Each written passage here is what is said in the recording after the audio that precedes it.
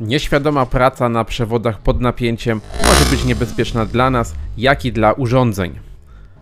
Dziś pokażę Wam urządzenie do ściągania izolacji, takie specjalne kleszcze, które są wyposażone dodatkowo w specjalny moduł, który właśnie ma za zadanie wykrywać przewody pod napięciem. Wyjmijmy zabezpieczenie z baterii, sprawdźmy działanie na bardzo niskim napięciu stałym oraz na typowym napięciu sieciowym.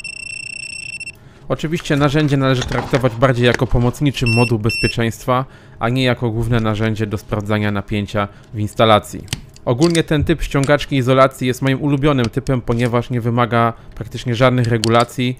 Możemy sobie zdejmować izolację z przewodów grubych, cienkich, podwójnie izolowanych, nie uszkadzając tej izolacji pod, pod spodem, a także możemy zaciskać konektorki, obcinać przewody. Przycisk czujnika jest jednak niefortunnie usytuowany, ponieważ aktywuje się podczas odkładania narzędzia.